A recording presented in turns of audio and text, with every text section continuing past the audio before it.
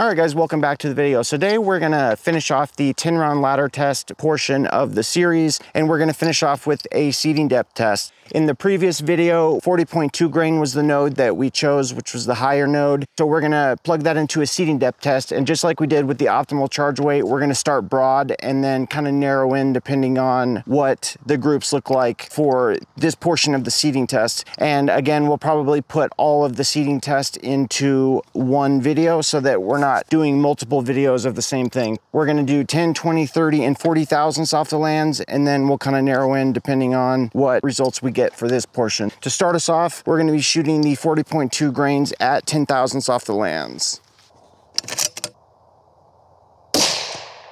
2,755. 2,750. 2,740. 2,752. 2,749. All right, next up, we're going to be shooting 20 thousandths off the lands. 2,747. 2,760. 2,730. 2,741.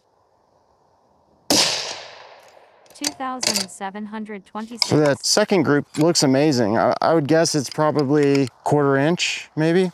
It's very good. All right, next up is 30 thousandths off the lands.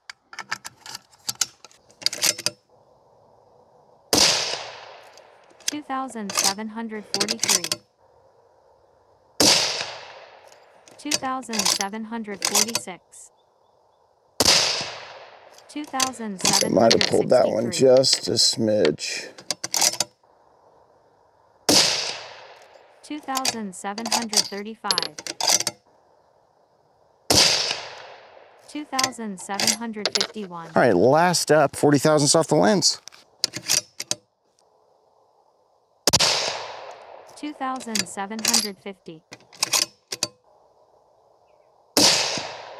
2,773. I freaking pulled that one. 2,729. Might have to reshoot the 40 thousandths off the lands because I really janked that one shot. 2,732. All right, that's it on that one. We'll uh, go in and, and find which is the best area to work around and areas to keep testing. We'll be back in a sec.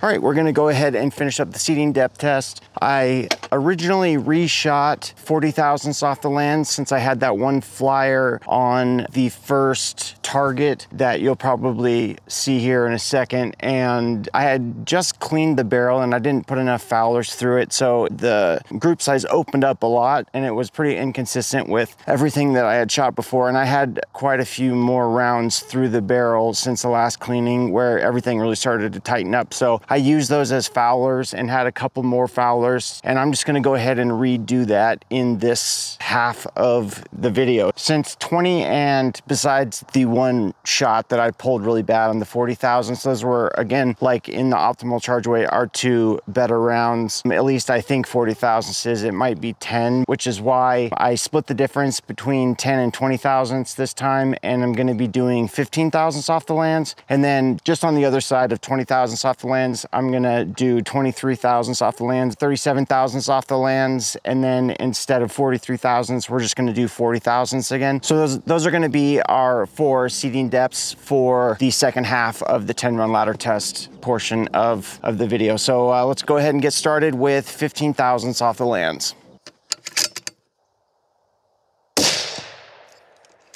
Two thousand seven hundred fifty.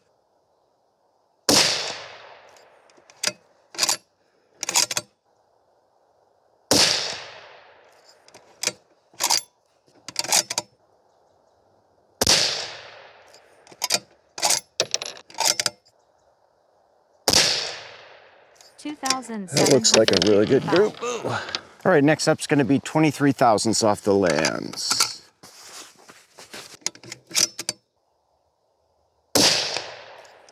Two thousand seven hundred forty-one. 2,735. 2,747.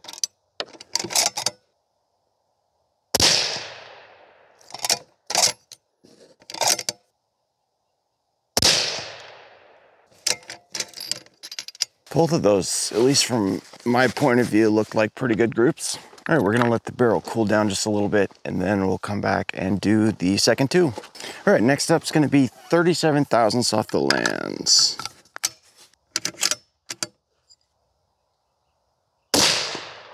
Two thousand seven hundred thirty-seven.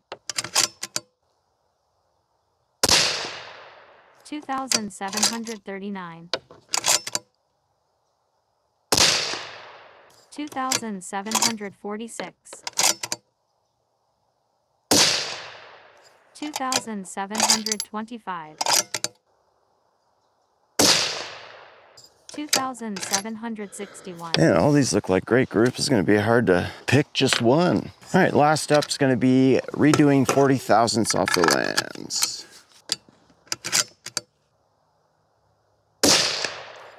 Two thousand seven hundred forty-four. 2737 2739 2729 ah, Looks like this isn't uh, a good seating depth for this load because it opened up again so. 2736 yeah it looks like the seating depth isn't good for this for this charge weight. So all right, let's head in and see what our final results are. All right, so for our first part, we had 10, 20, 30, and 40 thousandths off the lands. Our 10 and 20 were our best. 30 and 40 kind of uh, fell apart. I did 40 again because I thought maybe this was just a flyer on my part, but it ended up being just as bad. So we stuck with around 10 to 20 in between 10 and 20 we did 15 and then just on the other side of 20 at 23 thousandths and 37 and i redid 40 thousandths because i wasn't sure exactly if maybe when i did the second 40 thousandths off the lands it opened up because i didn't have enough foulers through there. So i went ahead and just shot it again. And it was about the same. It opened up quite a bit. We stuck around the 10 to 20 thousandths again. So I, I went with 15 since the uh, standard deviation is four, the extreme spread is 10, and that was the best of all of the, the good groups. So that ended up being 0.302. And so that is our load. That is going to be the end result for our 10 round ladder test. So when comparing it, to the final load for the optimal charge weight, which is 0.314, and that had an extreme spread of 24 and a standard deviation of 8 and that was the best group. Um, we did have one right next to it at 30 thousandths off the lands. That was extreme spread of 11 and a standard deviation of 4, and that kind of opened up to the point where it just looked like this was a, a, little more consistent. And so I went with a little bit higher number, still under 10. It's not as good as 11 and 4, but since uh, I didn't really like how it was starting to spread out, I, I decided that which one was the yeah, 40 thousandths off the lands was the way to go. So uh, honestly, I would say that I know that Hornady has done some testing, and in their testing, it says that with the 10 round ladder test, that the only reason that you're seeing velocity nodes and stuff like that is because you're not you're not shooting enough, you're not doing enough testing, and at least with this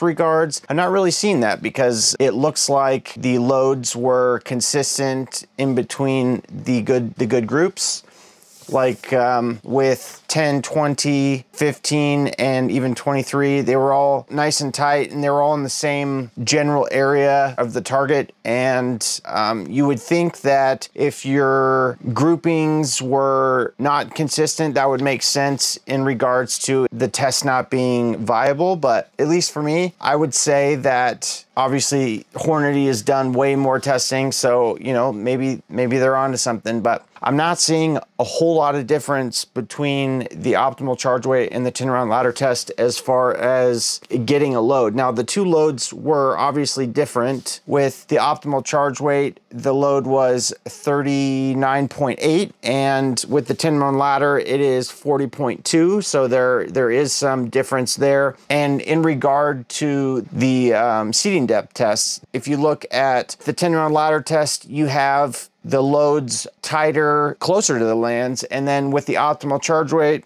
you have loads that are towards 40 thousandths versus, you know, in the 10 to 20 thousand. So there is a little bit of a difference, but as far as getting consistency and getting good groups, I'm not seeing a huge difference as far as, you know, one being significantly better than the other if I were to do this test a bunch of times, would that change? Probably. You know, I, I don't have the funds to to be able to just do you know 30 round groups and stuff like that but you know that's what testing is for. And so if i were to do a bunch of different 10 round ladder tests with different loads and different components you know maybe over time i would see that that the 10 round ladder test isn't as as consistent as the optimal charge weight i choose to do the optimal charge weight just because i feel a bit more comfort in shooting five rounds for each of of the charge weights but at this point when comparing these two specific tests using the same components same charge weights and everything like that i would say that they were pretty equal. In fact i would say probably honestly that the 10 round ladder test load is a bit better just simply because the extreme spread and standard deviation was like half of, of what the um, optimal charge weights was. So i know this is going to ruffle some feathers but um, in this case, I would say they were they were pretty equal, all things considered. And I know that we we take what other people do in their testing as kind of guidelines for what we should be doing, but it's okay to try different test methods. And if it works for you it works for you you know? Don't don't let other people's testing decide how you're going to test if it if the end results are you know good. So probably going to get a lot of hate for that but it is what it is thanks for uh, stopping by the channel guys. I know this was a long one. We will see you in the next one